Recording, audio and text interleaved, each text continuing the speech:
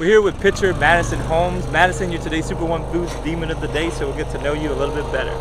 What is your most irrational fear? Uh, I would have to say spiders. Okay. Why Yeah. spiders? They're just like eight legs. It's really freaky. Like just yeah, Anything more than two is really too many legs, right? for sure.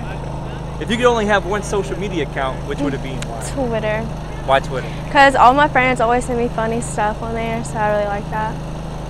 If you could play another sport in college, which would it be and why? Basketball, for Wh- sure. Why basketball?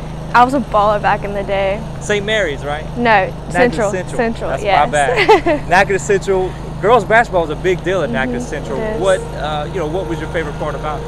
Uh, I just like being. Well, I didn't really like play high school. I played like in the middle school, but like I was like around some of them, so it was really like cool being around them. What was your favorite part about basketball?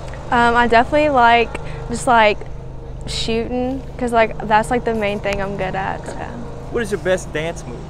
Um, it's kind of whatever I'm feeling at the moment. Is a hot dog a sandwich? Definitely not. Why not? There, it's like two different breads, so.